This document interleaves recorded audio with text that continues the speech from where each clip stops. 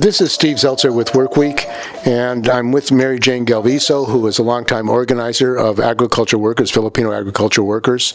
And uh, we're going to be talking about the history of agriculture workers in California and the struggles that they've been engaged in and the struggles today for agriculture workers. So, welcome to Workweek. Thank you for having me. Um, I want to show you my t-shirt. It's the Filipino Farmers Cooperative, and we are located in the California Central Valley in Tulare County.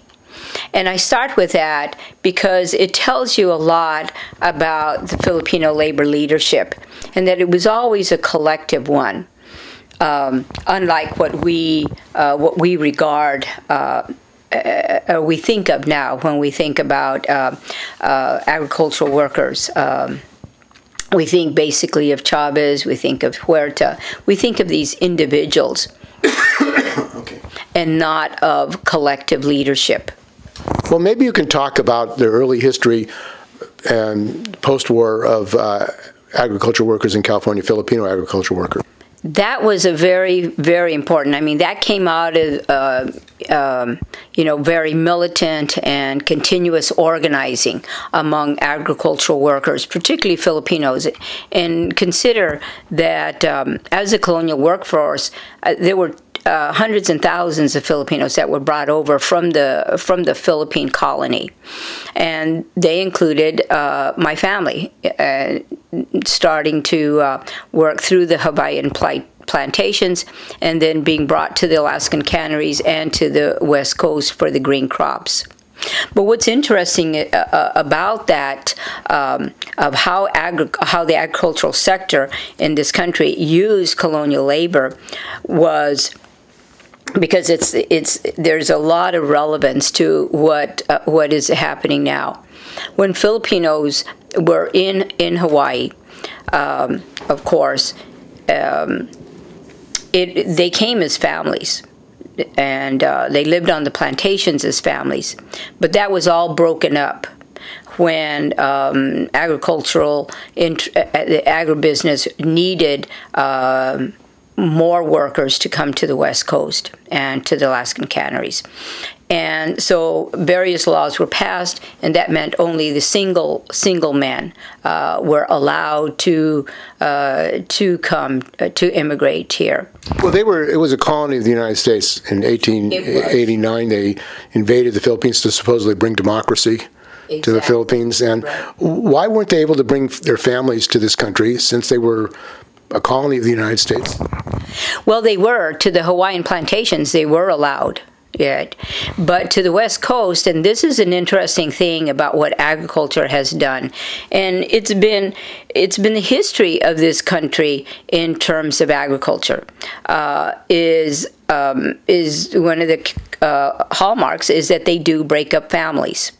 So beginning in the late uh, 1930s, and uh, when the United States said that it was going to give nominal uh, independence to the Philippines, it was on the condition that all all um, all women, children, um, uh, uh and older people would return to the Philippines. Now, this was called a Repatriation Act. In, in fact, it was a mass deportation. And uh, a lot of my family were returned, and only the young men were allowed to stay and to and to uh, immigrate to the West Coast, um, and that was the first. Uh, that was the breakup. Now people ask, well, why would they do that? And a lot of people just fall on the argument it was racism.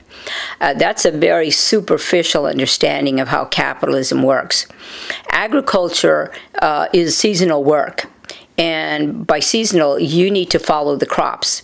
Uh, they don't need men who have wives and children to hold them down. The agricultural sector needs and always needs a mobile workforce, a workforce that can go, um, you know, to the Alaskan canneries during the season, go down to the Yakima, um, Yakima in Washington uh, to do their crops, and come on down to the West Coast and throughout the Southwest right? That is the reason why agriculture breaks up families. So when you look at what's happening in the U.S. Mexican border now, it's the same phenomena. The U.S. is breaking up Mexican and Latino families because they don't need families as part of the workforce. They only need the able bodied right, that can pick the crops wherever those crops uh, are coming into harvest. And that is the reason. I know a lot of people advance the argument, oh, it's just racism against uh, Latinos and Mexicanos. Uh, no, it goes into the economics of how capitalism works, particularly in our agricultural sector.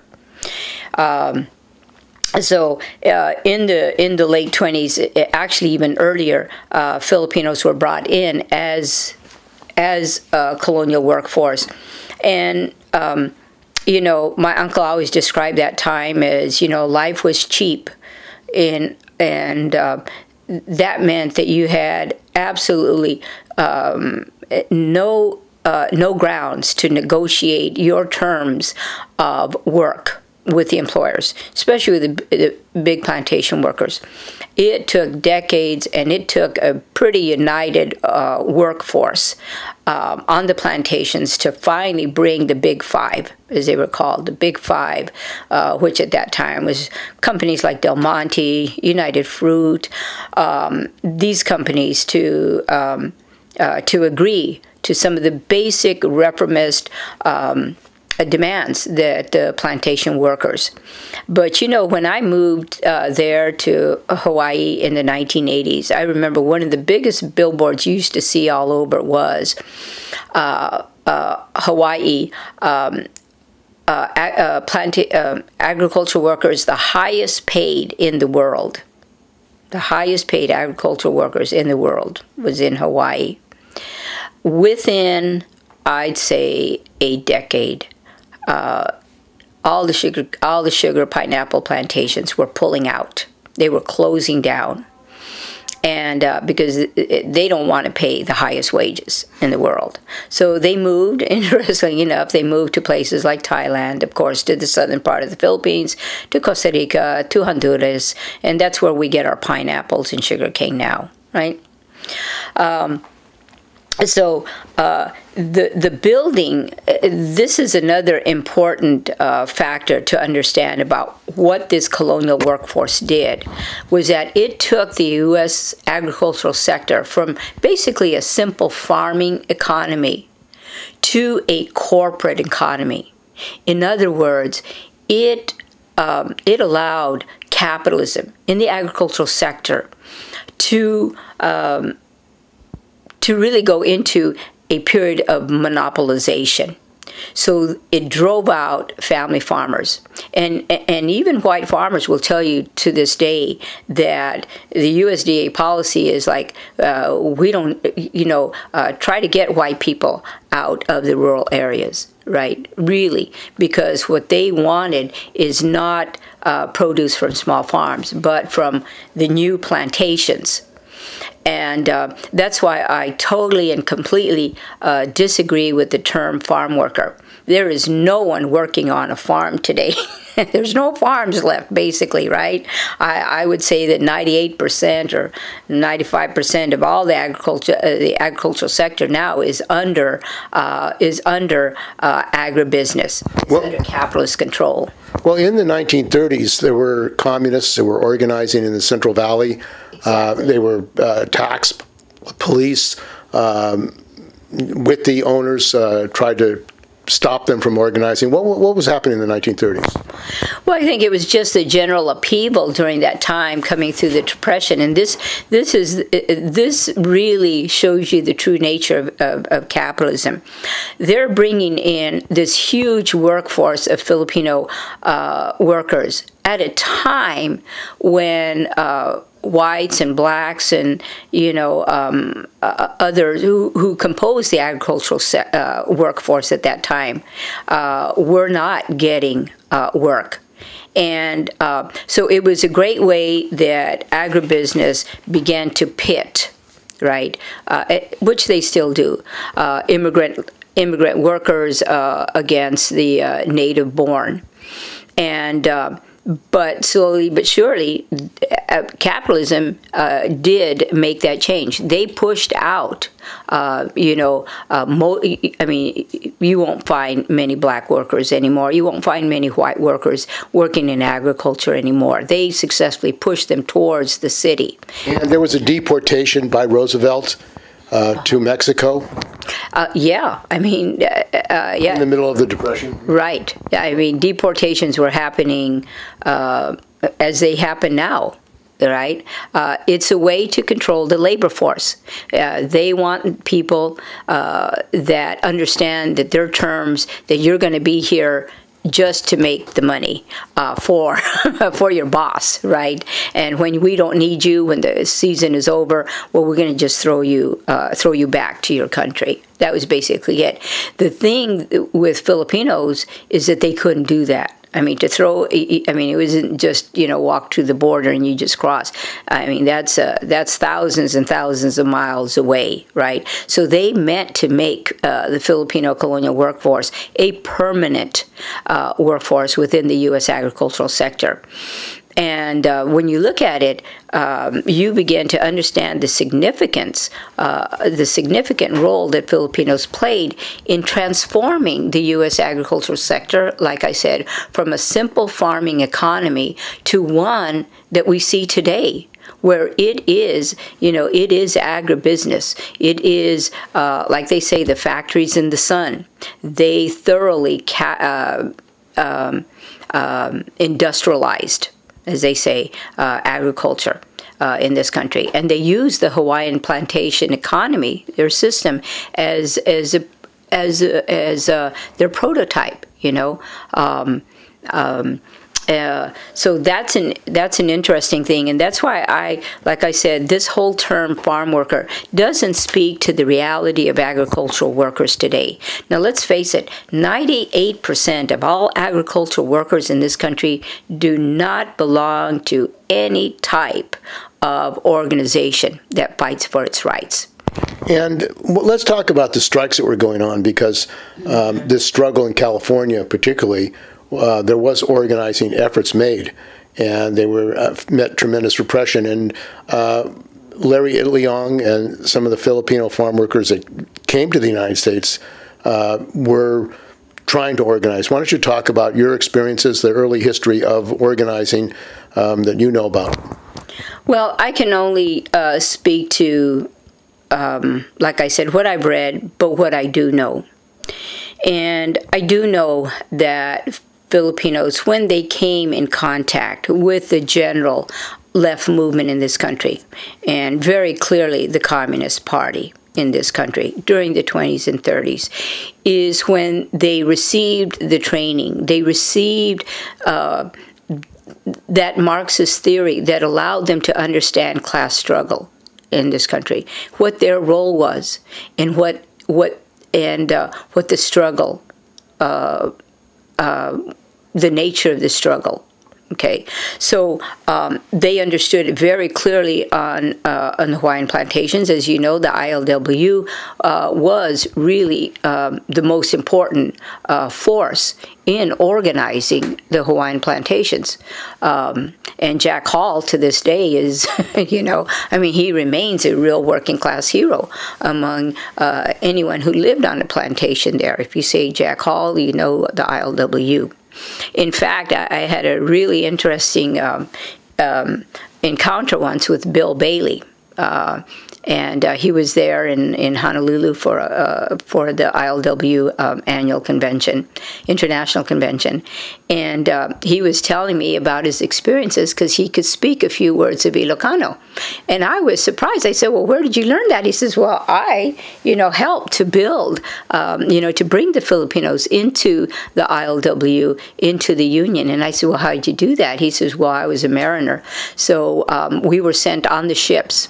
And the ships would uh, get to Manila and uh, you know uh, load up with all the Filipinos that were going to go work on the plantations. And he said, my job and the job of the others, right, was to make sure that they signed their signed up. And he said, uh, so he said on that ship that I was on, by the time we got to Honolulu, uh, Aloha Towers, every Filipino that walked off that ship went straight to the ILW hall instead of to the plantation, and they were union members from the day that they began working on the plantation. He said that's how successful we were, but it take that it took that type of organizing. So uh, during the 20s and 30s, like I said, that, there were tremendous, tremendous uh, strikes, upheaval throughout the agricultural sector. And the Filipino labor leadership was in the forefront of it, from the canneries in Alaska, uh, green crops throughout the Southwest and the West Coast. And in Hawaii, there were massacres of Filipino organizers. Yes, and yes, and it was unfortunate. It was it was a, a manipulation by the plantation uh, owners. They pitted, they brought Filipinos from different parts of the Philippines, and um, eh, you know instigated the divide and conquer uh, tactics. Uh, they used Ilocanos against uh, Visayans and and and uh, vice versa, and you know it, it's always the same. Uh, you know, uh, a shot gets fired, someone gets killed. You're not sure where the shot came from. Uh, that type of thing.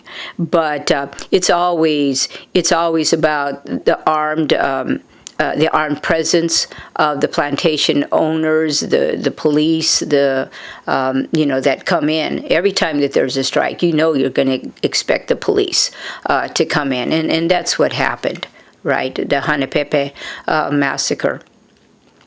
But here on the West Coast, like I said, uh, the capitalists used a lot of different uh, ways to terrorize and to beat down the workers every time they went on strike. Um, uh, one of the main things, of course, is that, uh, you know, I, um, my farm is in Tulare County, and there's, and, um, and all, when I was growing up, uh, we all knew that there was segregation. I mean, the railroad line, uh, the railroad uh, was uh, the line.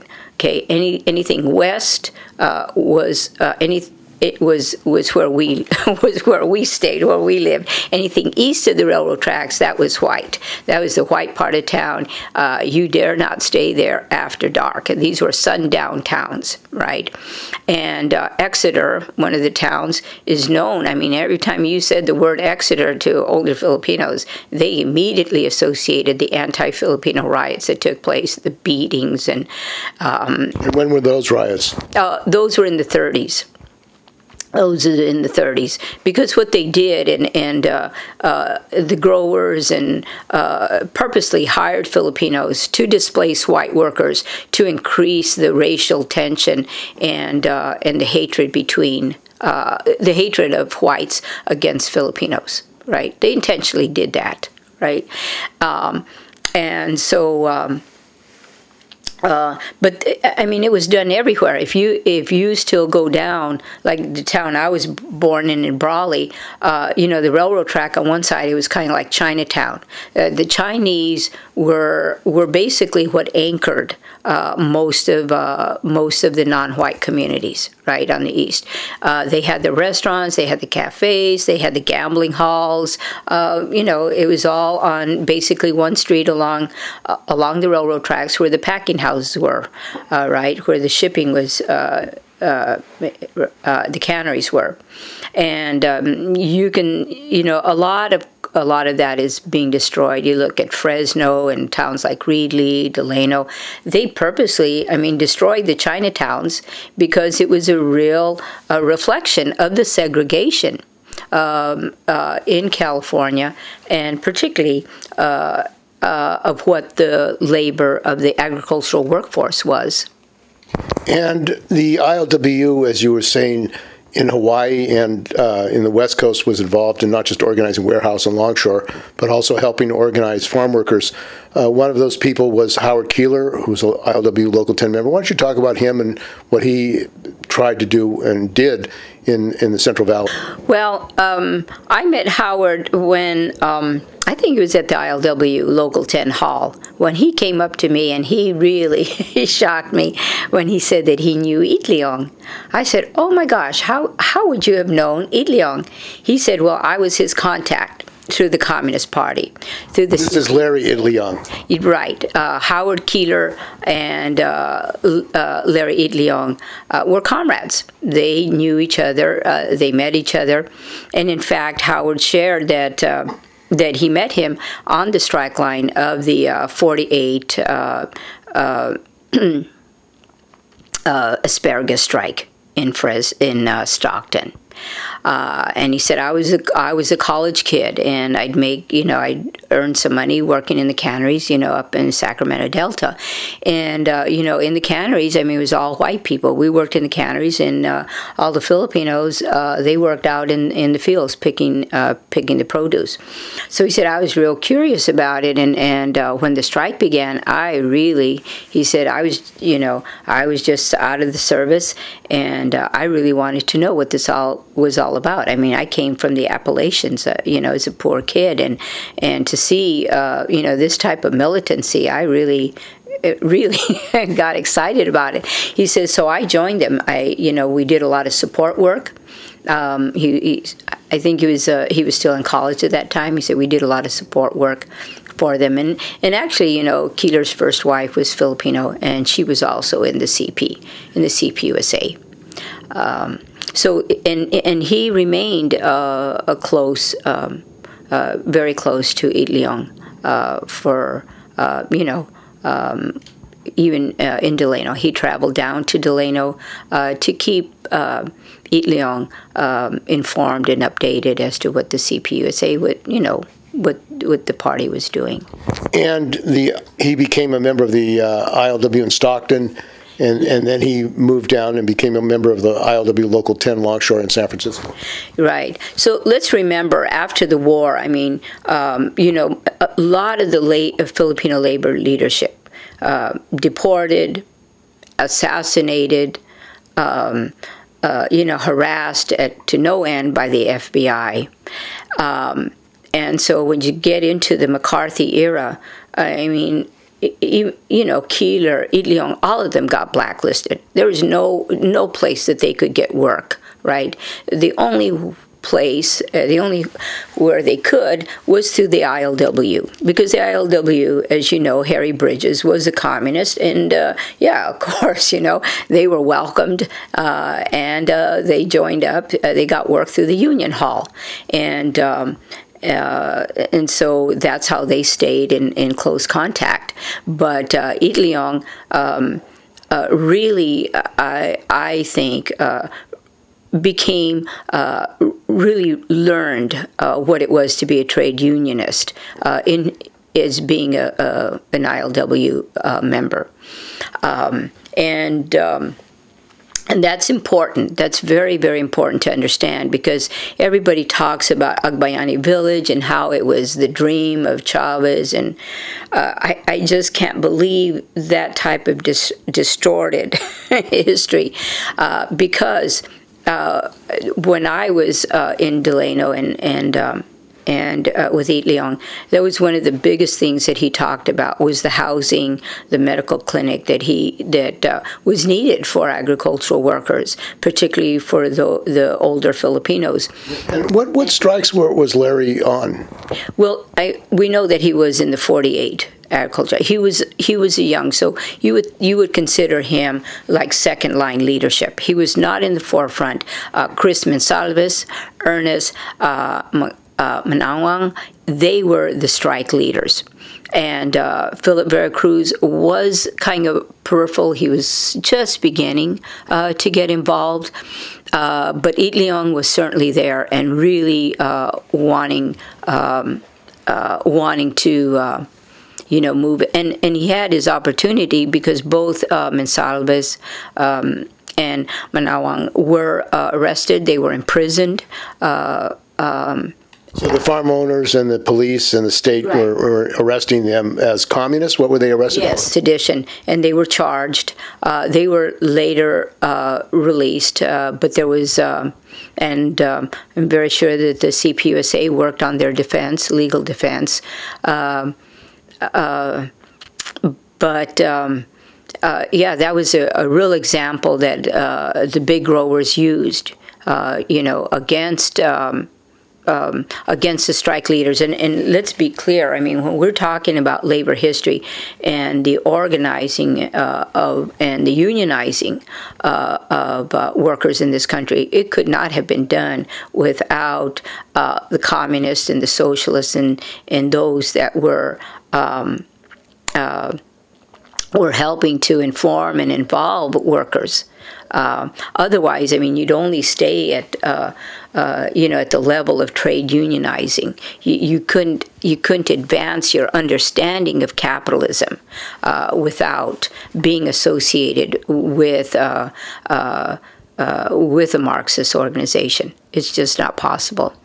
So what were so Larry was an organizer and he became involved in organizing Filipino workers. How, how did they organize? I think I think the way I look at him is more he was a trade unionist. Uh, he was a communist, but he understood the fundamental role that trade unions play in capitalism. Uh, workers under capitalism need an organiza- uh, a workers organization that give that can that that where they can um, articulate their voice and they can come together collectively to uh, push for those uh, reforms to better their wages, to better their working conditions. That's what he knew, uh, and um, that's what he became known for. And he was also an internationalist. Of course, as a communist, he was an internationalist. The most important thing, and and you know everybody knows him uh, through the 1965 Grape Strike. Uh, what the UFW and many try to, the narrative they try to push is that you know um, the uh, movement among agricultural workers kind of started in 65. No, when you look at the life and times of the Filipino labor leadership, you're looking you're looking decades back in the 20s and 30s and 40s into the 50s, and that shaped uh, a very very tight, tightly knit uh, Filipino um, uh, working class and uh, and leadership and Itliong was part of that leadership. So, um, uh, you know, he was a man who built unions, who helped build unions, who brought uh, workers uh, together for those uh, for that purpose. But in '65, and this is this is the interesting thing, is that very few people, although they talk a lot about Delano, they don't talk about the Coachella strike. The Coachella strike was is significant because it was it laid the groundwork for the Delano strike. If any, you know, um, those of us who grew up and uh, you know at that time, um, let me just tell you uh, very quickly, um, the conditions. Uh, I mean, I was just a kid when I started picking grapes uh, we'd come up from Imperial Valley and we'd pick grapes in the Coachella Valley. And that's the Coachella Valley is the start of the season of the grapes, picking grapes. And, and we worked for uh, the Bianchi uh, Bianchi. Now they were growers. They were the big growers from the Delano area, Central Valley. They they all owned uh, their vineyards down in Coachella Valley, and um, we were their biggest uh, their biggest crews were Filipinos. And uh, so, how old were you when you started picking grapes? About 13, 14 years old. Right, because we had a family farm, so it wasn't necessary really for us.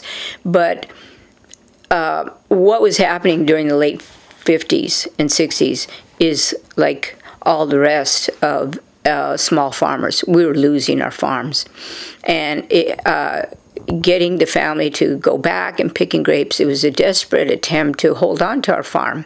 And so kids, even, you know, all, everybody, we were we were expected to join our, uh, you know, in my case, our oldest uncles, uh, our older uncle, uh, to pick grapes in Coachella.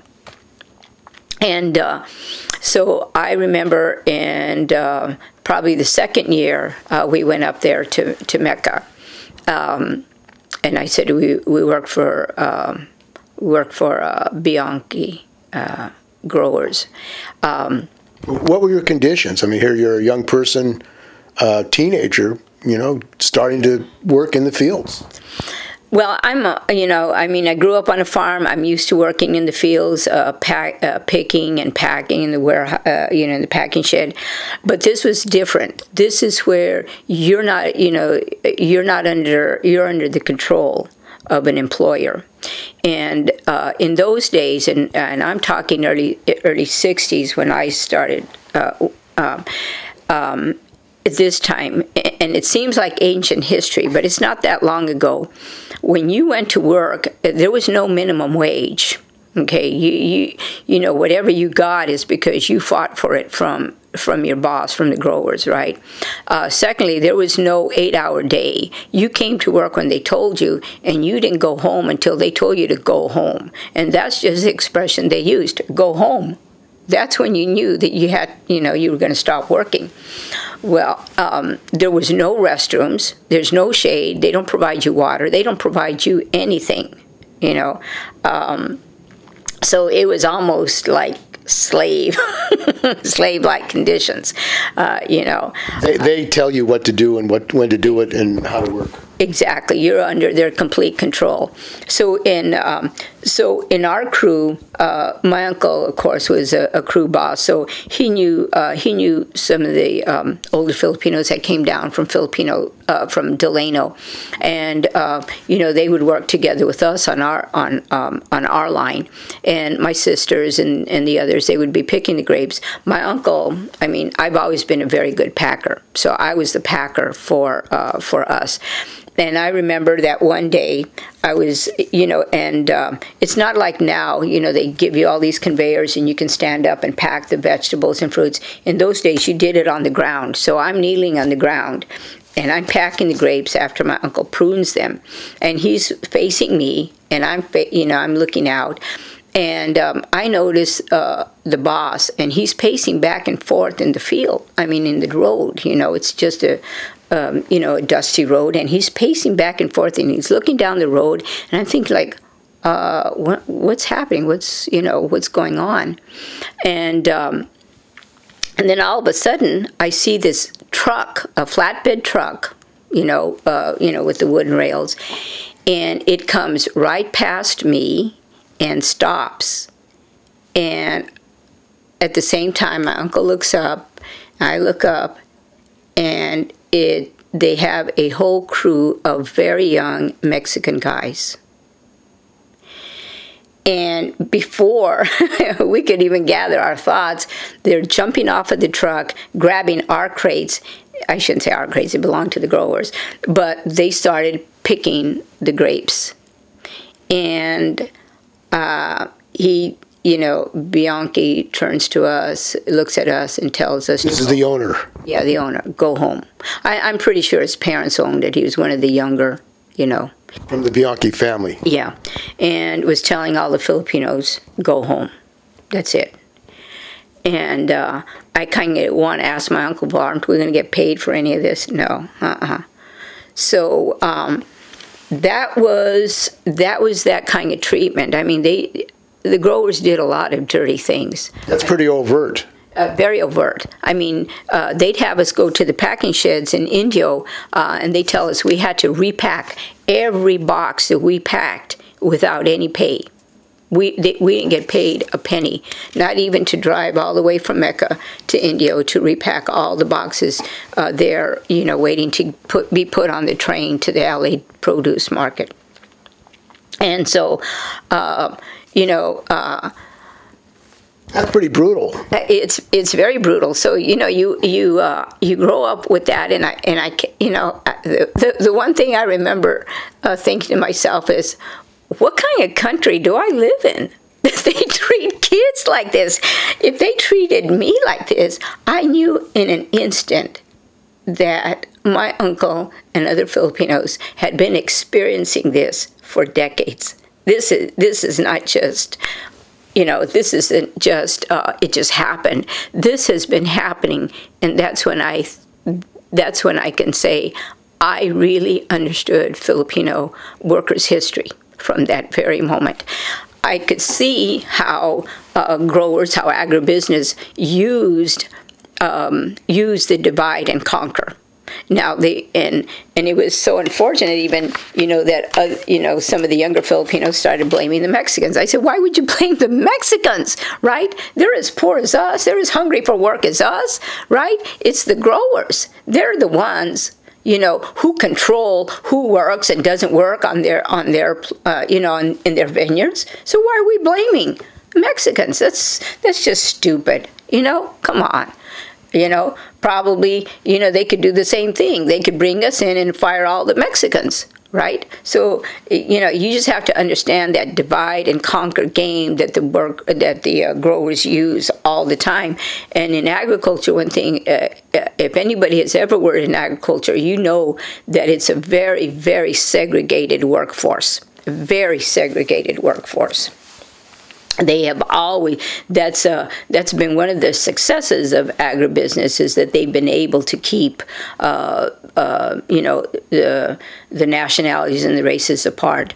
Nowadays, um, it's it's a different game because I would say maybe about ninety percent of all the agricultural workforce now is uh, Mexican, is Latino. So um, that's not something that they could uh, do very well. Although I think that they still try to work the you know the tensions uh, of the Mexican Americans and the Mexicanos, you know that. But uh, so so the growers used pitted you know the Mexican workers, Mexican. Uh, farm workers, agriculture workers against the Filipinos. What other experiences do you have like that? Well, uh, I want to I want to move on to how it's done in very subtle forms. Because I think if we tr trying to understand the uh, uh, the uh, state of agricultural workers today, we truly have to understand what happened after 65 okay like i said the experiences the experience that i just related was some of what led up to the 1965 Coachella strike. Uh, Itliong, uh, the others, uh, as part of the labor um, uh, leadership, Ben Gines, uh, Pete Velasco, they came and they helped to organize a very, very successful strike in Coachella, and we won that strike. We won that strike. They did increase our wages, and we weren't uh, blacklisted are thrown out like we like we were before. So, so they won. Did they win a union contract? That's the hard part. Is union recognition to this day has eluded agricultural workers. It really has, and uh, so. Um, so, like I said, uh, that's May, June, and end of the harvest uh, is in Delano.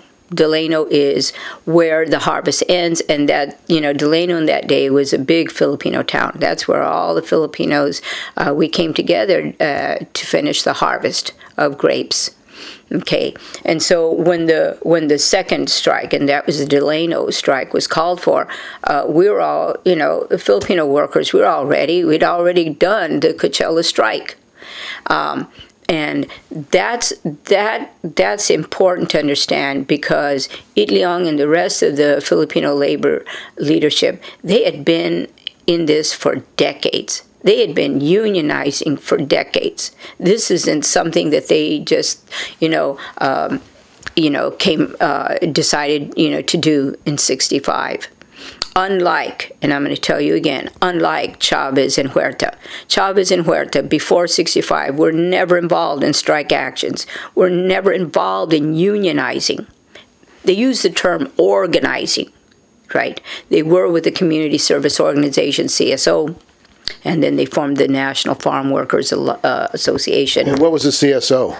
Um, it was a Catholic funded uh, community organizing project. Uh, like a help volunteer help organization yeah. or you know, right social services. social services social services help the workers understand uh, you know uh, you know how you, how to navigate your way in this society that type of thing but it really is not about uh, putting the power in the hands of workers uh, because uh, that's what a strike does. A strike um, uh, allows the workers to understand their muscle.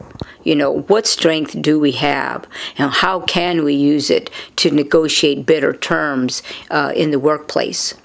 You know, community organizing doesn't do that at all. Okay, it's just um, it's just basic reformism, right? But So, so that's where they come out of. You're saying that they came out of a different tradition Very than the Filipino organizing, Larry Itliong and other organizers who are already leading strikes, right. organizing workers, and taking on the bosses.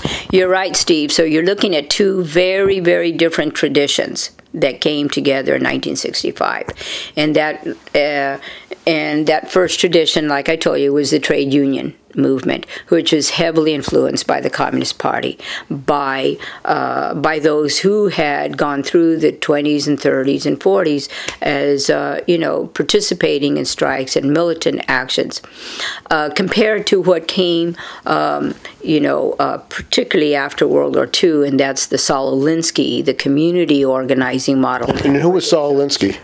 He was he was based in Chicago, and he, uh, you know, um, and uh, as a pushback to trade union uh, unionize unionizing, formulated this whole thing about well, instead of you know organizing on the at the workplace, let's do it in the community where you know, um, and that uh, what that did was that it took um, it took uh, it, uh, it it took away the instrument of the strike. So you were no longer confronting the capitalists, right? I mean. Um, you know, the whole point of the strike is that the bosses are not going to make any profits, right? And that's what keeps them going, right? So if you move it out, right, out of that arena and take it into the community, how are you how are you hurting capitalism? Right? How are you striking back at capitalism from the community? You're not. It's at the workplace because this is where the capitalists, you know, that's their that's their livelihood, that's their lifeblood, right? That's how they make money off of our backs, right? And uh, that's how you get the billionaires that we have today is at the workplace, not in the community.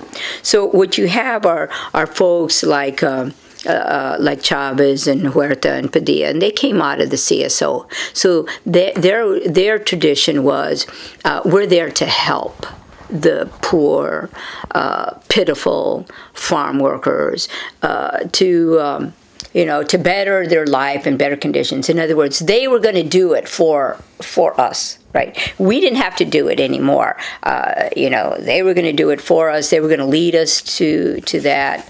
And, and they look to, uh, Saul Alinsky looked to uh, uh, the uh, Kennedys and the, the Democratic Party. Do they see them as critical to organizing farm workers? Yeah, I mean that's the whole school of Alinsky uh, was that.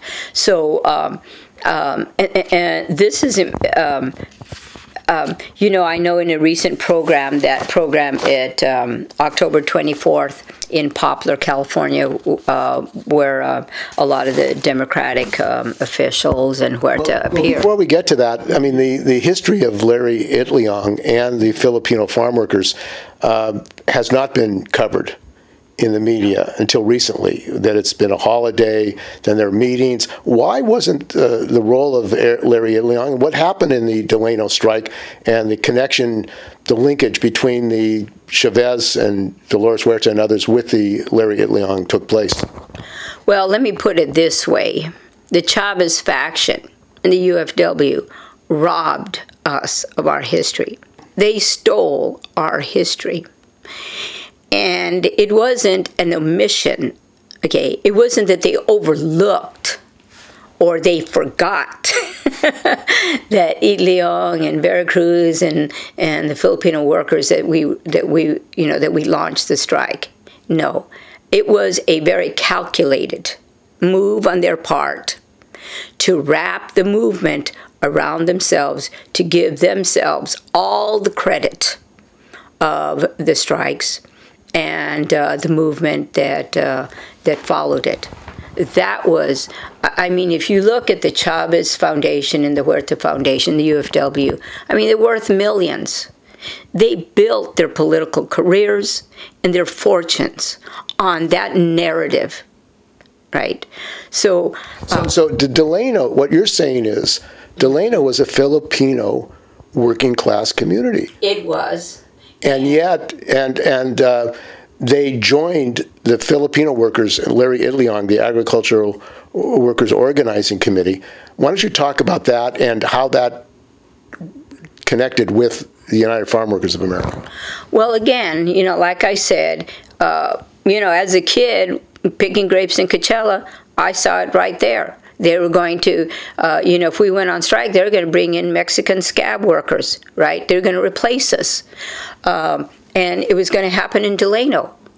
All of Filipino labor leadership understood that tactic. I mean, they'd seen it time and time and time again, right? So by the time you get to Delano, the first thing you need to do is you need to build the workers' alliance. You need to, you know, bring the working class together, and. Um, and uh, that's exactly what the Filipino uh, leadership uh, did.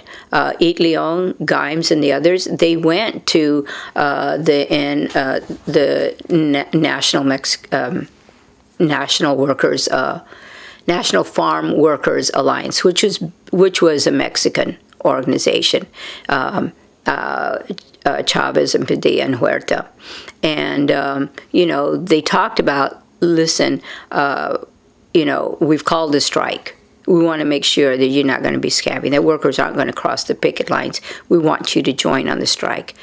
Now, it already led the Coachella strike. Yes, yes, and so we, we already succeeded. And so we, we felt uh, very confident that if we could unite uh, the Mexican workers uh, with us, that uh, it was a strike that we could not lose.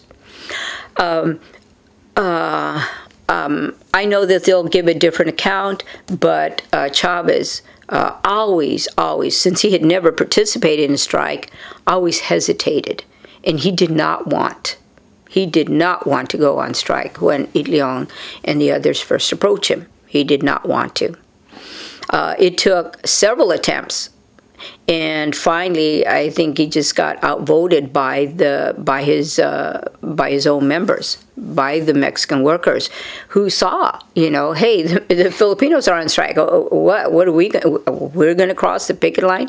No. So um, that was the merger.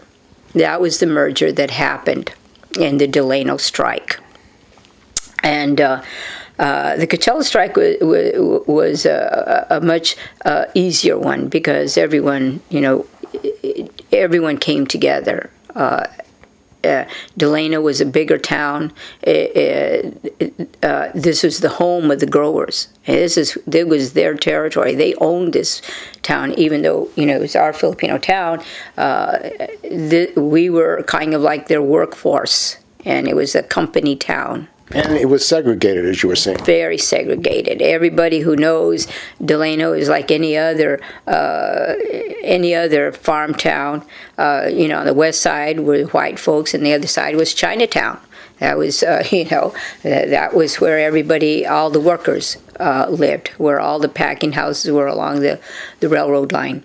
But um, uh, so what happened, like I said, you, you have two different traditions coming into the 65 grape strike.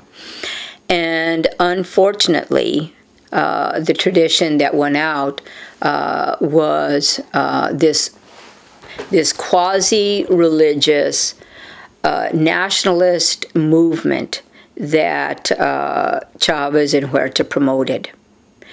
So um, this is a Saul Alinsky type. Right, and so you saw it by who surrounded and who uh, who Chavez and Huerta relied on as their advisors were whites that came out of that. So there was Fred Ross, there was Marshall Ganz.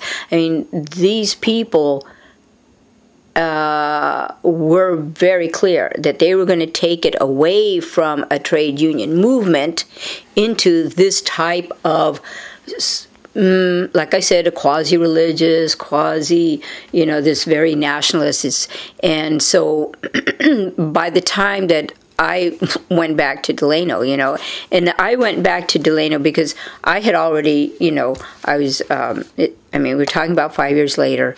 Um, I'm I'm a college student, and my brothers are still working. You know, they're they're part of the long distance lettuce crews, and and I'm hearing from them that uh, Filipinos aren't signing up, where they're not joining UFW, and I'm thinking like, what? This is our union. What what are you talking about? No, no, no. It's a Mexican union now. What do you mean it's a Mexican? You see, you see it. It's you know, it's not for us anymore. I said, well, what's Itliong doing? What's Velasco doing? So that's when I went up to Delano and I said, I want to see for myself what is happening. What has happened from the time that we went on strike in 65 to now? Now it's 1970, right? And so um, in those days, the Filipino Hall, that was the anchor of every Filipino community.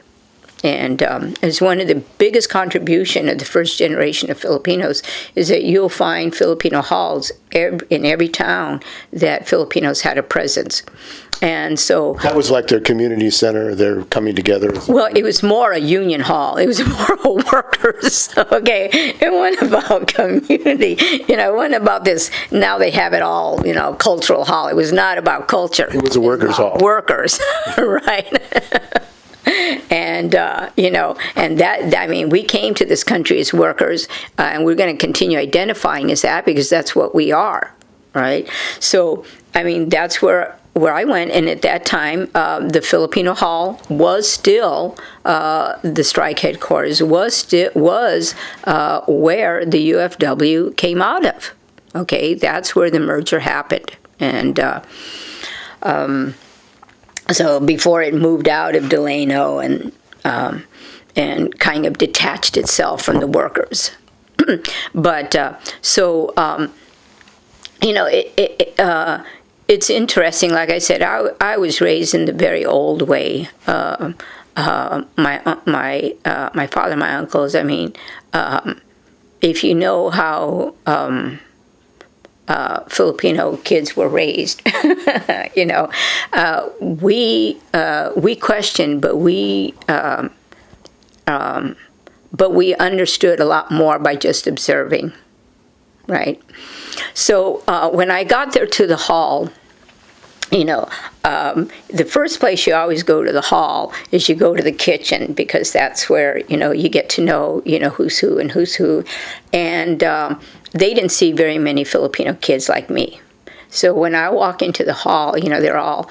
Um, uh, and I tell them I'm from Imperial Valley, I'm from Niland. They immediately knew who I was and what I was. I didn't have to explain anything else about my background. And so immediately, of course, Itliong took, took me under his wing.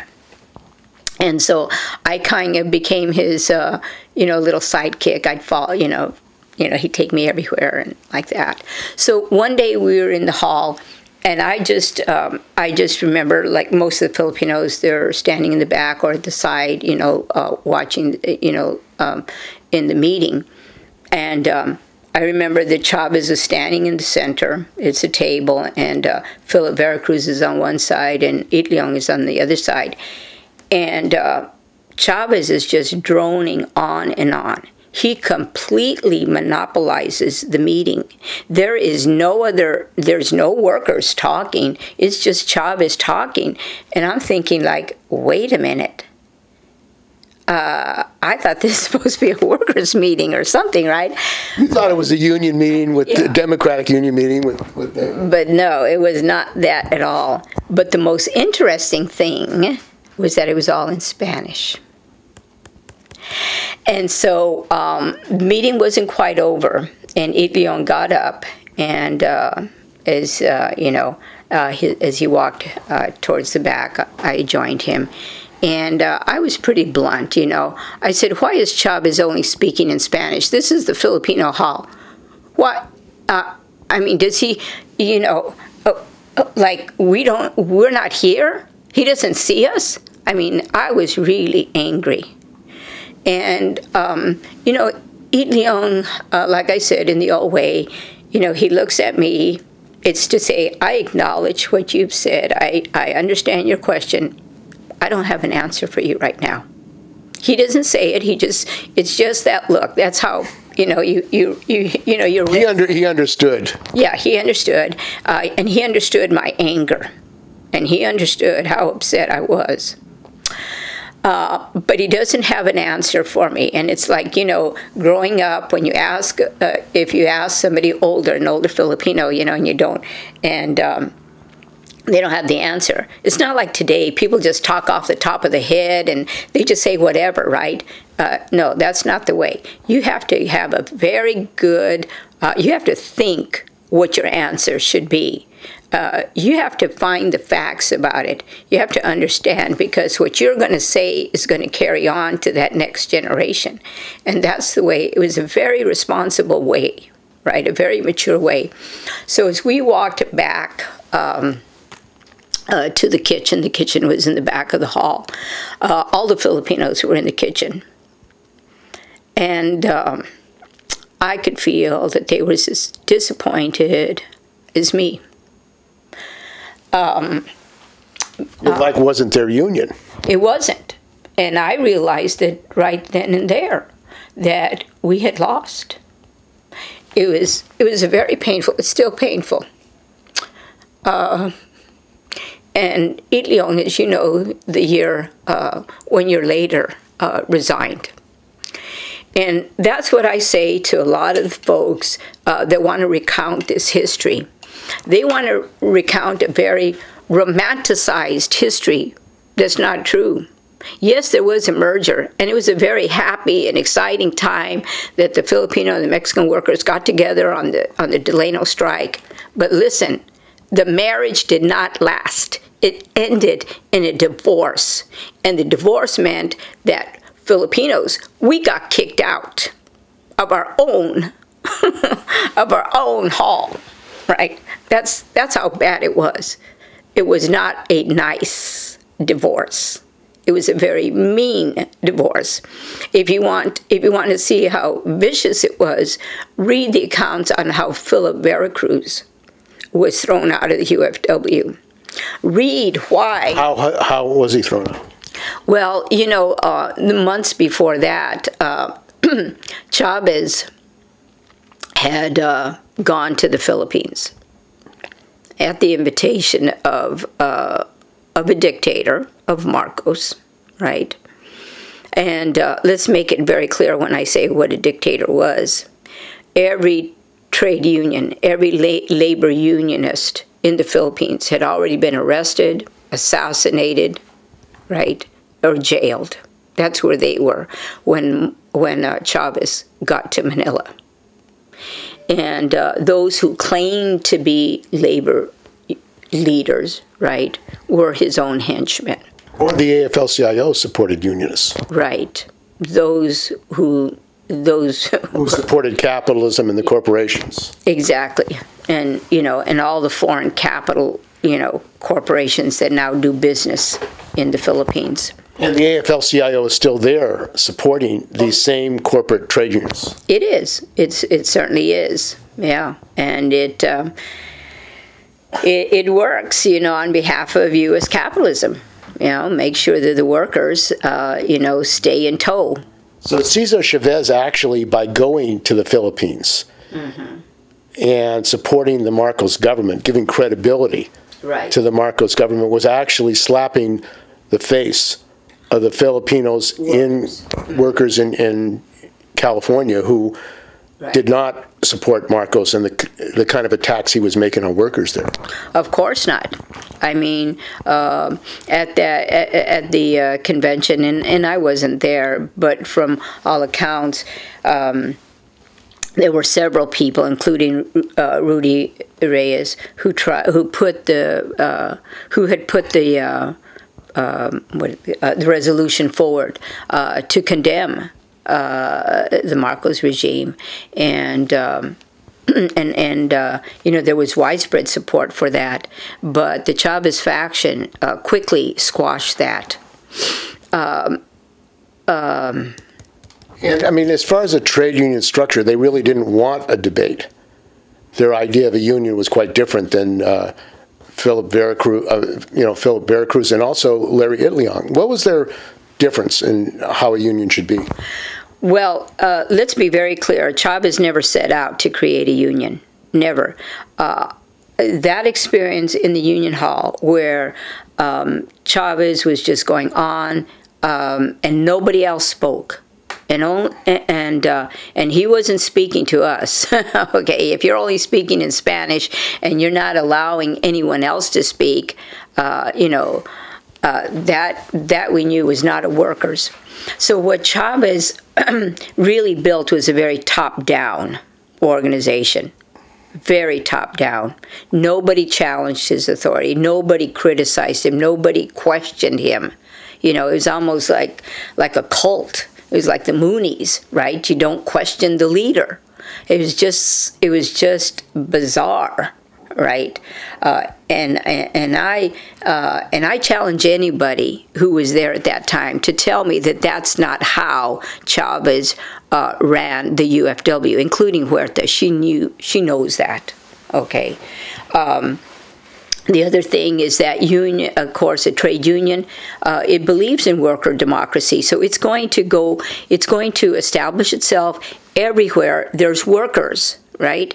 Uh, UFW never had any locals. Can you can you imagine a trade union without locals? You don't build locals anywhere else. You're organizing in the Salinas Valley, you're organizing in Imperial County, but you don't establish a local in those areas? Of course, why not? Because he did not want any uh, any challenge to his leadership, and the Chavez faction was real clear about that. Okay, there was not going to be any other workers. They were going to be in the leadership position as he was. And so as a result, even though there were, you know, time and time again, there were some great, great worker uh, leaders, natural born leaders, no, he made clear that they never shared the podium with him. And uh, secondly, if you knew about, uh, since uh, Chavez and Huerta and them, they had no experience establishing a union hall, it was shambles from the very beginning. It was the, it was the worst experience, and it drove out uh, the majority of Filipinos. Why? Because we we were really migrant workers. We traveled up and down from the Alaskan canneries to Washington and. Uh, you know, throughout the Southwest and West Coast. So we weren't at the Union Hall day after day after day waiting, you know, to, to get picked up for a job. And because we weren't, we got pushed to the bottom know, we got pushed to the bottom. The Mexican workers who were there, who didn't, you know, and, and it's basically because they had families and they didn't migrate, um, they got top priority on the jobs now. Uh, what kind of union hall was that? And I ask Huerta today, what type of union hall did the Chavez faction create? Right? It, it was just the worst experience. And I think out of that experience, most of the Filipinos said, no, this is not what we set out to do. When we went on strike in 65, we wanted co a collective bargaining unit. We wanted a true union. In the end, the, and that's the true legacy of the UFW, is that it did not unionize the, uh, the agricultural workforce. It did not create the union of workers, of agricultural workers, that the Filipino labor leadership had uh, strived to create for decades. It just simply did not. So that's why I said the legacy today of the UFW is that 98% of all agricultural workers are not unionized and don't have an organization. And Al Rojas and Elena Rojas mm-hmm. were close to Larry Itliong, um, and they as well uh, were unhappy with some of the things that were going on. Very unhappy because they also, I mean, they were workers, and this is this is another hallmark of trade unionism, is that it is a rank and file organization. In other words, the workers run the union, right? The workers. In other words, every Filipino that was in the labor leadership was there because they were rank and file. They had worked in the fields, they had worked in the canneries, they had worked, okay, doing the work that the workers did. Chavez and Huerta, they had never worked. Okay, they're not rank and file. And yet they made themselves the leaders of an agricultural organization. And that, I said, that was a fundamental difference. If you're building a workers' organization, then the workers need to run it. And Chavez was not ever, a, you know, a rank and file worker. In Poplar, California, mm-hmm. there was a commemoration there to commemorate Larry Itliong. Itliong, the center there was set up mm-hmm. um, many years after Larry Itliong died, and after his his and the role of the Filipino workers had been pretty much ex, uh, removed from the real history. Right. What was that all about? Well, that's still part of that false narrative that the UFW uh, created. It's a revisionist history. And uh, they perpetuate it. And this event that they had is one of those. It's um, an event where they named a, a building after Itliong.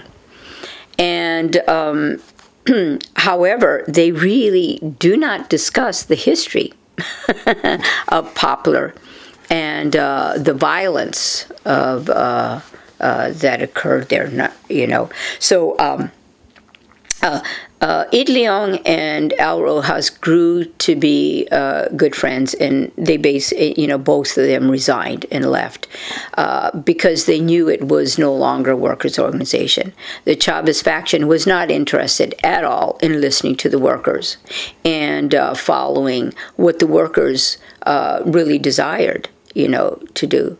Um, Chavez pushed not the strike, okay, if you know uh, trade unionism, the strike is the best instrument you have to fight back uh, the bosses. They pushed the boycott. And the boycott was, uh, it's out of the hands of the workers. Let the consumers, right, uh, carry out the movement, carry, and uh, uh, you know that pretty much disarms workers, right? It could be a support activity, but under the Chavez faction, the boycott became the major activity. It was no longer the strikes. It was no longer working or the ranch committees. It was no longer rank and file organizing. It was organizing in the cities, basically uh, among white supporters. And uh, that's where, you know, like I said, the power, it just uh, slips out of your hands. And uh, and that's what I saw when I last saw Itliong. You know that we that the power that we had um, uh, that we had uh, gathered over the years, and that we could strike. You know, in '65, um, it just it slipped. It uh, fell out of our hands, and what got picked up by the Chavez faction was remolded into a history that excluded us. And that's why I said, you know, for, as Filipinos, our history, the UFW, under the Chavez faction, they stole our history. They robbed it of us. And now they're making these little claims. Okay, we remember Itliong. Like, oh, you remember? right, you and, remember. And Dolores Huerta said that she had organized Larry Itliong uh, in her statement at that Poplar uh, meeting. I mean, what did you feel when you when you heard that? You know, it's a long line of outrageous and uh, a, a, distorted, a very convoluted history that um, that, sh- that, that that she is uh, speaking of. I mean, how can you, you know, I think I was more disturbed by the fact that no one corrected her. No one stood up and uh, "Excuse me, uh, can you give us some facts to the to to your statement that you organized Larry Itliong?" I mean, how old were you in 1965? Excuse me, how old were you when you met Itliong? Itliong had been organizing since the 20s and 30s and 40s. He helped lead major strikes. Uh, tell me, what strike Huerta were you involved in before you met Itliong? See, and that's the false narrative that the UFW pushes is that nothing happened before 65. Well, yes, the agricultural workers have been organizing, right, uh, uh, for decades. It didn't just start in 65. But that's where the UFW tries to keep that narrative. It all started in 65. They don't want to they don't want us to see what came before then. And that's when, you know, if you see that, then you begin to understand Itliong in historical context. Right? Uh, once you begin to understand that, you understand that Huerta in no way organized Larry Itliong. in no way. She was mentored. He was her mentor. Yeah. And she also, in her presentation, uh, did not mention really Elena Rojas, who had been attacked, injured at the uh, their home, which was next to the Union District office at that time is rather strange that she wouldn't mention the person that was actually physically attacked as Al Rojas's wife. That's not surprising. Like I said, these are people who built their careers focused on themselves. They're really not going to give credit. They're not really going to speak to others that were part of that history. They're just not. Uh, they want the spotlight. They want the limelight on themselves. I mean, after all, that's how Huerta became the darling of the Democratic Party, right? By, by keeping the limelight on herself, right? And, uh, and so she's going to continue that. Uh, that is, um, uh, that's her role, right? Uh, uh, she's not, she never was a rank and file organ, uh, union organizer. Uh, she was always aligned with the Democratic Party um, and the forces to be. But a, a lot of young people mm-hmm. now who are going to school, like Professor who spoke at the, mm-hmm. uh, you know, Rodriguez, mm-hmm. who spoke there, um, did not mention that, that Larry Itliong was a communist. He was a political activist. And they're, and they're not. Uh, they're not because that's that's a, a history that they're still frightened about. You know, so they're afraid to mention that Larry Itliong actually was a communist. A communist yeah, yeah. Uh, and, and and almost all the Filipino labor leadership right? They were. They were members of the Communist Party. They were Marxist. And you can read the writings of Philip Vera Cruz, and you can't tell. Nobody reading his, reading what he wrote, cannot can you know uh, cannot say that he was a Marxist. He had a very. They all spoke in class, uh, in class struggle terms. They understood capitalism. They understood, um, and and that's you know here's an, a very interesting thing about Chavez that people don't realize is that he did not know how to negotiate contractors contracts. He didn't understand collective bargaining. He completely relied on his attorneys. That's not true with Itliong. Itliong um, and, and, and that's where he was brilliant. Uh, he could sit uh, at the same table as a grower, face to face, and negotiate a contract. He didn't need lawyers and advisors. He knew what the workers wanted, and you, he knew how to press for that. And uh, isn't that a requirement of a union leader? You would think so. I mean, he was a business agent. I mean, you know, he, you know, you get trained right? You, uh, you know, these aren't things that you go through the CSO and learn. right? You don't go through community organizing and learn how to be how to be a trade unionist. No, that's a whole different tradition, and uh, that is the history that is really being um, being uh, hidden and and um, uh, and falsified in many ways. Um, uh, so with um, like I said with uh, Itliong, I mean, nobody's born with this knowledge and this expertise. You get trained. And, and very clearly, it was through the CIO. It was through uh, being in the Communist Party. It was through engaging in numerous strike actions that he became uh, the trade unionist that he was. But uh, from the very beginning, I mean, the UFW always had a very anti communist line They didn't. Uh, you know, you listen to uh, their spokesman today, Marc uh, Grossman. Now, you tell me how somebody who never worked in the fields can now be the spokesperson for UFW. It just shows you the true nature of of that organization. And I mean, the, the history of anti-communism. I mean, Cesar Chavez became a cult leader. He did. He joined uh, a cult organization, Synanon. Um, that's never really talked about by the UFW. Uh, never. Uh, they don't. They don't ever talk about that in his later years. He became mentally ill. I mean, he lost complete touch with reality. And I I never realized that until I was at a table, uh, just having you know having uh, coffee with Gilbert Padilla and uh, Al Rojas.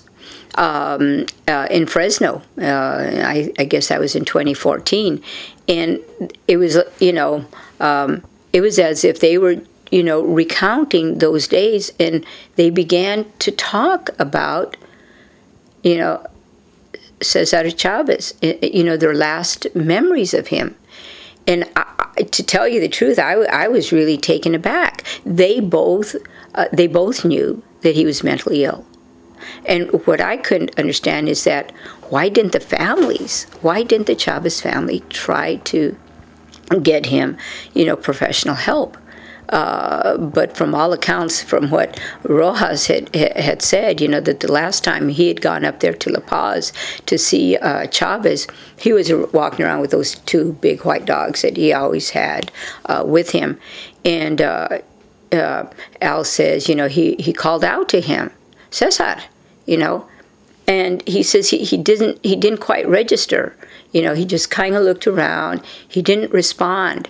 And uh, Rojas says, I called out and I and I said, "It's Al, it's Al." I'm, you know, and uh, and he said Chavez started beating on his chest, saying, "I'm Cesar Chavez. I'm Cesar Chavez." And uh, uh, you know, I and Rojas said, "I then I I knew then that he, he was lost." you you know he was just lost in himself, right? And this this kind of cult figure that is built up. Uh, the a lot of people who think that they're experts mm-hmm. about the farm workers seem to propagate that idealization of Cesar Chavez. What does that say about them as historians and um, really uh, objectively telling the truth about the United Farm Workers? Well, there's always been revisionist history, right? Those who write, rewrite history, especially those who try to romanticize it, and those who don't want to look at history and understand the bitter lessons that come out of it. And that was a very bitter moment for us when we realized that we had lost. In the end, we had lost um, uh, to the Chavez faction uh, our drive to build uh, uh, a union uh, among agricultural workers. It, uh, yeah, and so today, you know, when Robyn Rodriguez and all the others talk about, you know, we're, you know, we're going to continue in doing that, and we're going to bring together Filipino and Mexican workers. I said, you know, excuse me. First of all, you have not done a class analysis at all. There are so few Filipino work, Filipinos working in the fields now. Uh, all the Filip- uh, you know, and my family, they're still working, but we're working all in mixed crews. There's not enough Filipinos anymore working in the fields to make up Filipino crews per se. It's basically all Mexicano. Uh, that's that's the tremendous uh, change that's that's happened since the 60s. Okay, uh, so that type of uh, racial unity that you're looking at, it doesn't exist. What you're going to have to look at is among uh, the Latinos that there are more and more people from Central America and um, and uh, various parts. And and like I said, uh, back in the '60s, rarely, rarely did you see anyone uh, uh, Mexicans coming from the Michoacan, from the Oaxaca. I mean, that just shows you the intrusion of U.S. capital, that it's going further and further south. And the privatization of uh, Mexico mm. through NAFTA. mm-hmm. the selling off of the ejidos mm-hmm. uh, to U.S. corporations, the establishment by Driscoll of uh, basically slave labor plantations in Baja. Mm-hmm. Um, what was Chavez's position towards these immigrant workers from Latin from Mexico? Well, that's another part of the revision history that the Romanticists uh, want don't want to look at, and that is that because the Chavez faction were not trade unionists, they did not have a mature um, approach a, a, political approach. How about a humanist approach? A humanist approach to those who, uh, you know, who who crossed picket lines, who were scabs, and uh, so what did the what did the Chavez faction did? They they began to collaborate with the U.S. government to deport uh, Mexican workers. Uh, this was part of the very shameful and like I uh, one good thing I'll say about Gilbert Padilla is that he never uh, he never went along with it. But Huerta sure did. Okay, all the Chavez faction. They basically nobody. Uh, you know, it's just like today. I mean, uh, why aren't people questioning uh, these really dirty tactics that the Chavez faction used? I mean, uh, you are not going to unite the working class by turning in, uh, by calling up the INS and giving them names and where they live and where they work to get them picked up by the Migra. Uh, how are you building working class solidarity by doing that?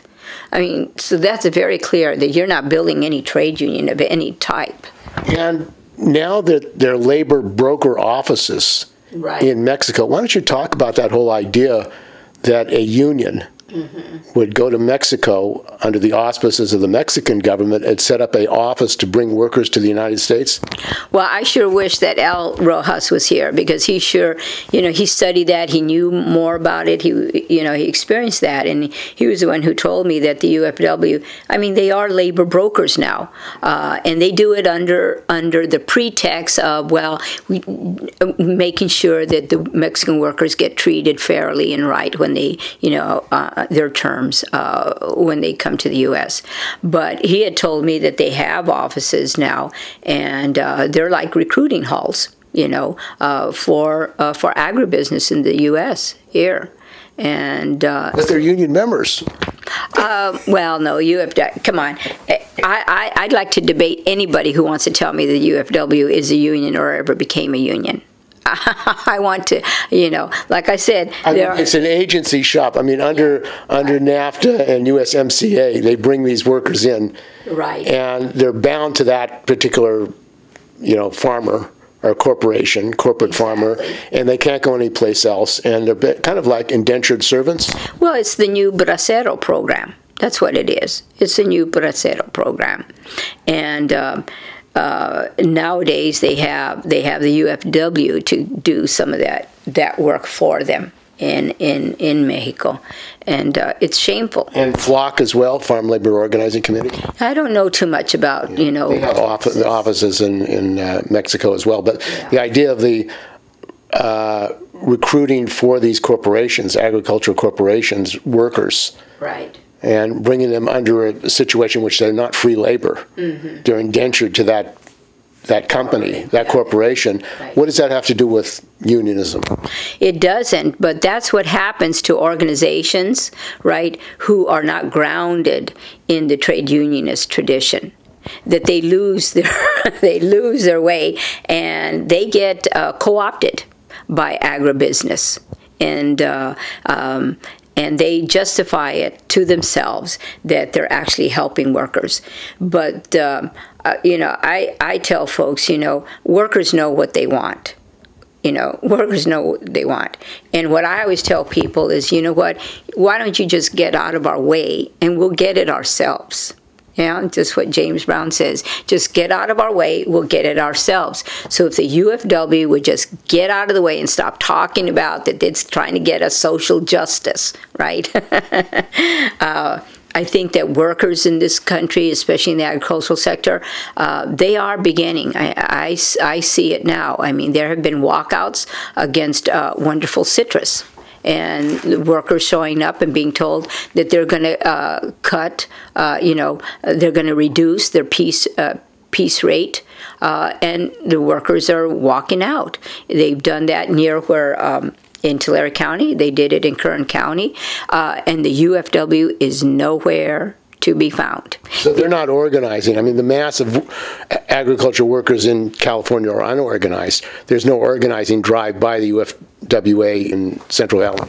Uh, no, they, they are not. Uh, they're not unionizing.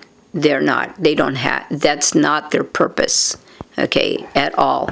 So you're not going to find them. Uh, they, they they don't have uh, uh, folks in the fields, um, you know, or being in contact with rank and file, trying to create a union. Not at all. Now, after the Poplar events, there was a rally there, and uh, Desiree Rojas spoke, and Johnny Itliong spoke, you went to another location. Why don't you talk about that experience? Well, that was very interesting because when we first start seeing it, you know, coming up on social media about the Poplar event, you know, what was kind of highlighted was the center part of it is that there was going to be the big presentation at um, in Poplar at the uh, Itliong Resource Center, and that was. Um, and you know uh, what I had seen in the program was uh, Elena and Desiree Rojas were going to be the first speakers.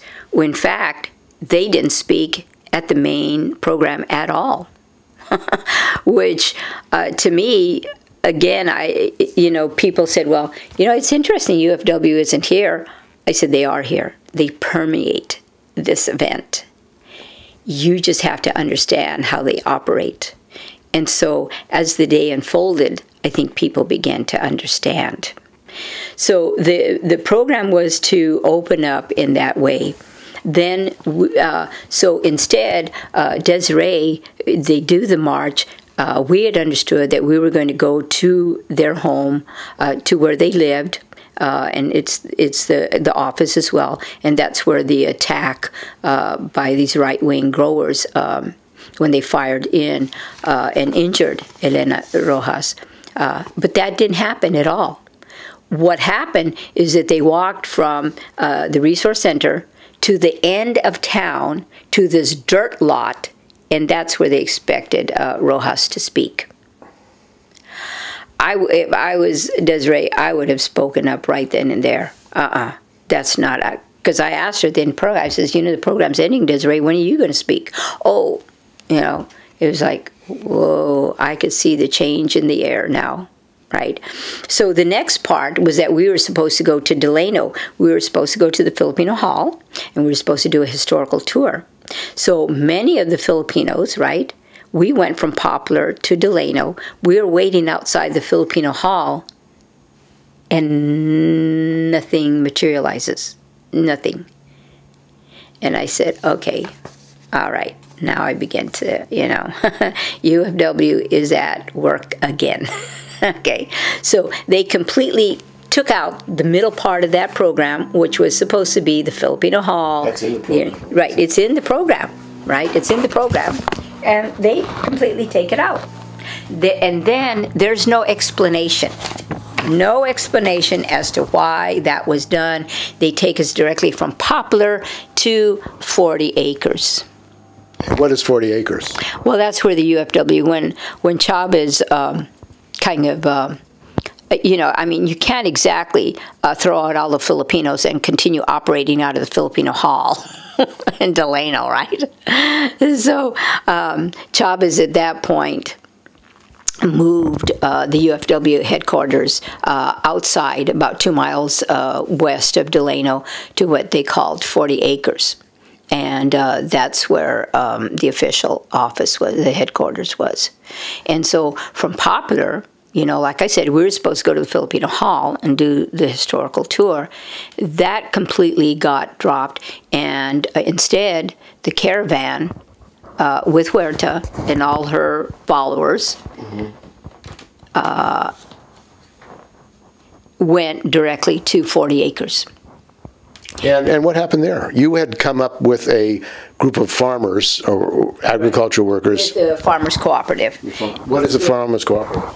Well, we're we're a cooperative of Filipino farmers, and we grow exclusively Filipino vegetables, exclusively for Filipino people, and we sell exclusively within the Filipino community right?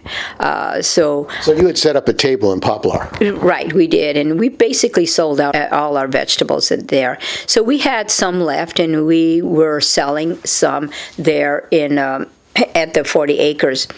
Uh, but like I said, after we left Delano, realizing that, hey, you know, I realized we got shafted.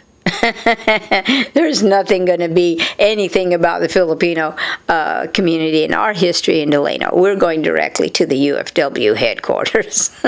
to there. So uh, we get there, and uh, the whole program, and, and it's it's a very contrived one, a very contrived. Nobody's talking about Itliong anymore. It's uh, it's the very superficial kind of the Filipino dances, the Filipino songs. Uh, nobody's talking about trade union. anymore. Nobody's talking about Itliong and the communist and you know unionist that he was.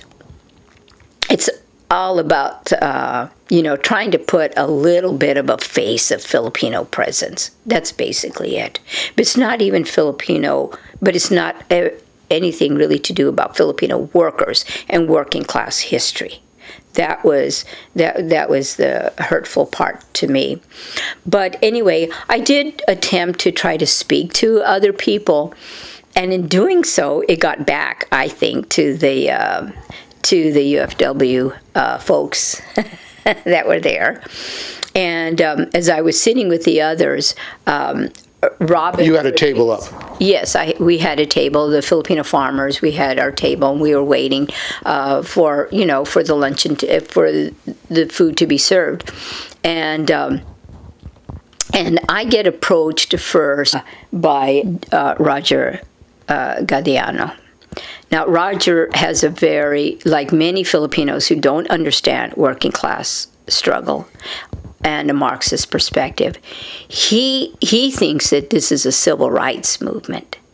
Uh, you know, he puts the 1965 Great Strike as a civil rights movement. Uh, and, and you have to, you know, and I'll say right now, no, the 1965 Great Strike had nothing to do with constitutional rights. It's not a civil rights movement. It was a workers' movement, right? A strike action has nothing to do with, with the Constitution. And how do you know that? Because when the U.S. Constitution, the Bill of Rights were written, it had nothing to do with, uh, there was no consideration of what workers' rights were. There's nothing in those documents that talk about what workers' rights are, right? So this is not about civil rights. This is about workers' rights. So let's put away that that very false narrative that Delano was the Filipino Selma. No, had nothing to do with uh, civil rights. Okay. Second thing. So, like I said, uh, uh, uh you know. Um, it's very it's very painful thing about Filipino history. But as they say, you know, the oppressor is strong and remains strong as long as he has accomplices within our midst. And unfortunately, what I can see now is um, that the UFW is very much one of those accomplices. It works with the Democratic Party. Uh, promoting the false illusion among workers that we can make we can get social justice under capitalism. I mean, that's like telling slaves under slavery on a cotton plantation that you're going to get you're going to get social justice. You're going to get freedom under slavery. well, uh, let's be very clear. There is no social justice under capitalism for workers. Uh, capitalism is, it, uh, exploitation is inherent, right? Uh, so there would be no capitalism without the exploitation of workers and the oppression of the working class, right? So but as I was saying, that's a narrative that that that uh, the Chavez faction, the UFW, are never going to speak to is class struggle. Right. So, um, as I mentioned. Um, as, as the Filipino Farmers Cooperative, as we were sitting waiting to eat, uh, Robyn Rodriguez, who's a professor with UC Davis and with the Bulosan Center, comes over with about six other people, including Glenn Aquino. And they try to uh, isolate me by saying, Oh, Mary Jane, can we talk to you over here? I said, No, whatever you have to say, you can say right here. No, we'd like to speak to you in private. No, this is a public event. There's not. I don't. You know, I don't have issues of privacy. I don't have any privacy issues. Whatever you have to say, let's say it now. Okay. Well, what they basically had to say was, "Get out, Mary Jane." we don't like your we don't like your version of history. we want you to leave. And what did they accuse you of doing? Soliciting. You know, I said soliciting. What? and when the other farmers heard that, they just like jumped up and said, soliciting. Well, what? We can sell our vegetables? What are you, you know? so, I mean, but I understood that that was just their rationale to try to get me out. They don't want a left wing. They don't want a communist perspective, a Marxist perspective on the agricultural history in this country. They don't want that at all. And so, you know, I, I even wonder in the Bulosan Center whether they talk about Carlos Bulosan being, um, you know, one of the, the foremost Filipino communists. You know, I bet they omit that just as they omit that Itliong and Chris Mensalvas and all the others, Filipino leadership, leadership were Marxists, were communists. And, and Robyn Rodriguez, in her presentation mm-hmm. about the history of Larry Itliong at the Poplar event, uh-huh. failed to mention, did not mention that Larry Itliong was a communist. Oh, and I doubt if she ever will. I mean, as long as she still grovels in, in talking about beloved Cesar Chavez and beloved Dolores Huerta, the very people that pushed the Filipinos out of the UFW. I mean, are you clear about our history? Uh, have you it's you know sometimes i get reminded uh, of a child. They remember their their their parents happy marriage. They don't want to recount the divorce the very painful difficult acrimonious divorce. And that is what happened okay? We got iced out not only not because we're Filipinos, let's be very clear about that, but because we're trade unionists and we're communists. And oh no, in the words of Marc Grossman, we don't want commie freaks in the UFW. And that's exactly why we were pushed out. So let's stop the very superficial, uh, you know, uh, narrative that it's because we were Filipinos. No, it's because what type of Filipinos we were. We were militant trade unionists, we were communists, we were Marxists, we were socialists. And that's why Chavez and Huerta, they could not abide by that at all, because they're not. They're not trade unionists. They don't come out of that strong and long tradition of the CIO and the CPUSA. They came out of the Catholic Church and the CSO and that uh, other style. uh, but uh, one day, like I said, is um, as the true history comes out. Um, and I think the time is now. I mean, you know, how long can the, an agricultural sector of a nation remain unorganized, remain non unionized? Uh, it has it, it has to occur. It's just part of the the development of history in this country because agribusiness is really at, at its apex in its development.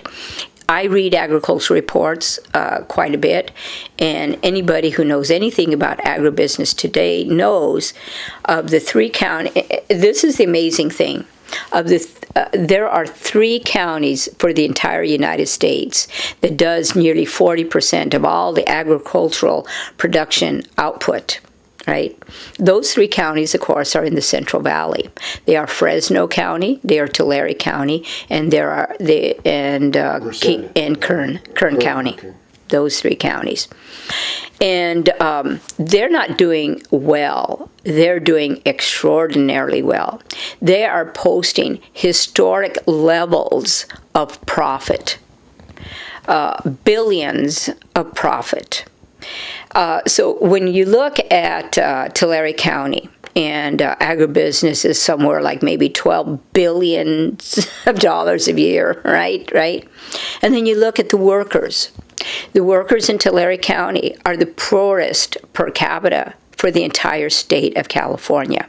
Now, I'd like to know, I'd like any Democrat to explain to me how that inequity that deep inequity uh, survives? Well, I'll tell you one thing it survives because workers don't have union a union that's why okay they have no uh, they have no organization that brings them together collectively in order to use those tools and those instruments to fight the capitalists to do work stoppages. And Filipinos were very, very known for work stoppages, for uh, for uh, slowing down uh, work on the production, you know, and for strikes. I mean, that's what Filipino workers were known for for strikes, right?